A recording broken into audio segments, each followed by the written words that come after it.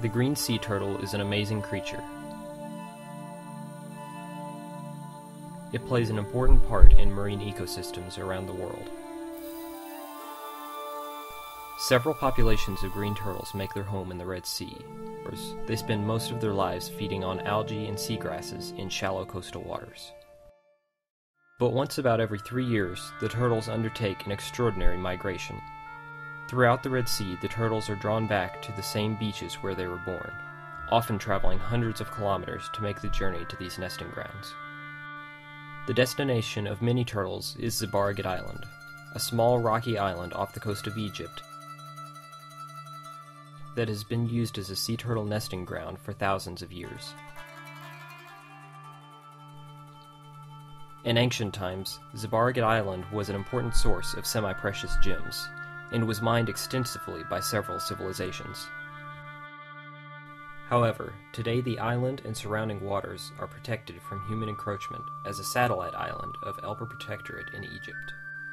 The regional importance of Zabargad Island to green turtles is well known, and now a recent study by researchers at Indiana University Southeast and the Egyptian Environmental Affairs Agency indicate that its importance may extend to green turtles throughout the entire Red Sea. The scientists tracked four turtles as they migrated from Zabargad back to their respective feeding grounds. Their goal was to determine how far the turtles had migrated to reach Zabargad and where their feeding grounds were located. The first turtle, Fayed, migrated 140 kilometers from Zabargad to her feeding grounds within Elba Protectorate proper, remaining in Elba for the majority of her migration. She represents one of the many regional turtles that never leave the Egyptian waters near Zabargad. The second turtle, Neda, traveled away from Elba Protectorate, stopping in the nearby Wadi Gamal protected area. Neda appeared to be another regional turtle, like Fayed. Yet some green turtles make more than one migration after nesting, using certain areas as rest stops before reaching their final destination. Though Neda remained in Wadi Gamal for nearly four months, the park was only a rest stop for Neda, and soon she began migrating again, this time towards Saudi Arabia. Neda entered Saudi waters after only a few days, becoming the first international turtle in the study. Unfortunately, her transmitter failed while she was still traveling off the coast of Makkah province. The third turtle in the study was Rashida, Though Rashida remained in Egyptian waters throughout her migration, she was not confined to the regional waters near Zabargad Island. Rashida traveled north from Zabargad 550 kilometers before reaching her feeding grounds in Gamsha Bay, a rich area but plagued by recent oil spills.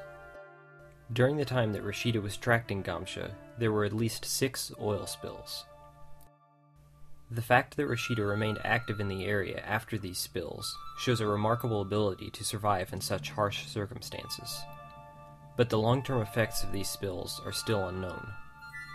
When the lasting effects of such pollution are severe, feeding areas can become burial grounds. The study's last turtle, Salim, proved to be the most adventurous international traveler.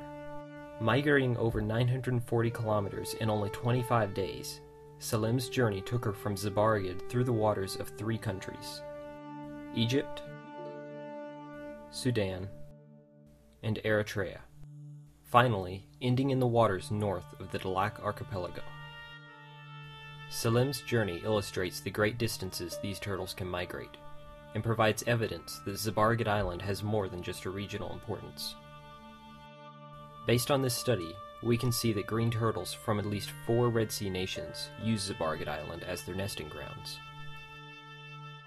From this data, it is not unreasonable to assume that green turtles from throughout the Red Sea, from all seven Red Sea nations, regularly migrate to Zabargad to nest, making the island a type of mecca among the Red Sea green turtles. Such importance makes it vital to maintain the protection of Zabargad Island but also means that full protection of the turtles will require extensive multinational cooperation. Such complete protection of the turtles' nesting grounds, feeding grounds, and migration routes will likely be difficult to achieve. But until then, we should be thankful for at least the protection of areas like Zabargad Island. For without this protection, the green turtles of the Red Sea would likely diminish.